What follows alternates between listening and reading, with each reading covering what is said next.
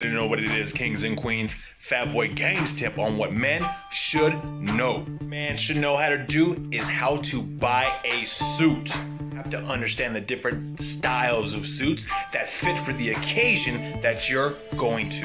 The perfect fitting suit, you're gonna have to go and see a tailor, understand fabrics, and the suit buttons and the lapels, pockets and the jacket vents, and the shoes the socks, the belt, the cufflinks, and the tie. How to hang a proper suit on your torso is like a woman wearing lingerie to us. Women go nuts over it.